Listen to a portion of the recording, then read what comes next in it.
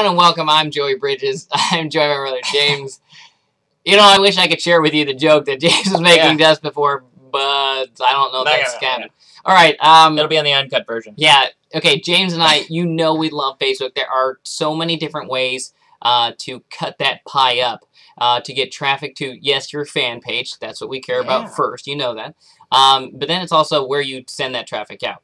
Now, James and I were doing some other projects uh, this week, last two weeks, and we decided to make it, you know, we were trying to think of all the ways we could add traffic. All the ways, because traffic, by the way, turns into money when you got a fan page done the way we tell you to do a fan page if you're going to follow advice. So, And you know, before you before you get to Oh, that, no. yeah, before you get to that, hold on. Before All you get to that, one, I think one of the key I things too. go- Yeah, one of the key things, uh, you know, that we've noticed. Hey, you, it's you can't have too much traffic. Yeah, you can't have too much traffic, and a lot of times we get focused on having only one type of traffic, and we go, oh, okay, that's cool.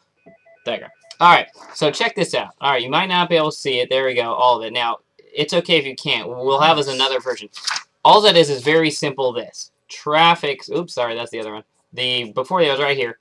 Traffic, sources, and this for a particular time was the offers. Okay, uh, now your offers. Think about it this way: you probably have multiple interests in your business. Even if you say, "Well, Joe, I only sell one widget." Okay, I got it, but most of the time the widget can be offered 10 different ways from Sunday. You know, and it's not usually just price. It's usually terms or it's usually two different niches and markets. Uh, you know, we work with a lot of clients who do uh, we have actually a new client who, you know, we're doing a, a switch fan page for baby furniture. Okay. Awesome. Awesome.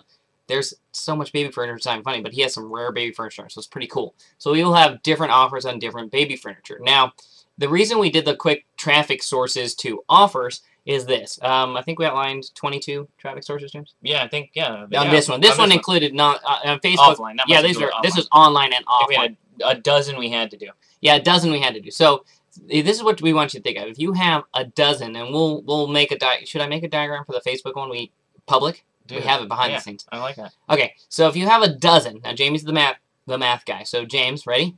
Dozen different ways to generate That's twelve. traffic. Okay, that's twelve, and ten different offers. Okay. So how many different ways can someone then contact you if you have a dozen and ten? Well, each one has twelve, so yeah, twelve. 12 times 10? 120, yeah. There you go. Simple math. See, guy, it was too simple for Jamie. He was wondering where I was going. So 120. Most of the times, people, when we ask, you know, business owners, hey, look, how do people find you, you know, on Facebook? Well, I, I tell them, great, that's one way. And then we ask, what else? I tell them.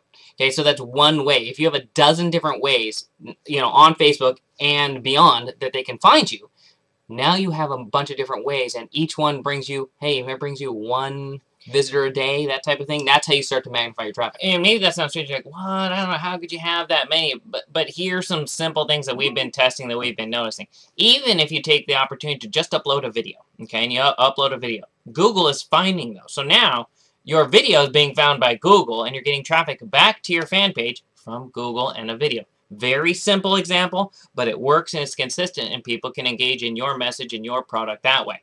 Uh, just the more little feelers you have out there, people can find you in the manner that they're most comfortable, and that's what that's what's really been exciting. People, hey, some people like our articles, some people like video, so the more opportunities you give people, the better you have to get more prospects and more customers. All right, so that's what we want to look today. How many different ways can people find you?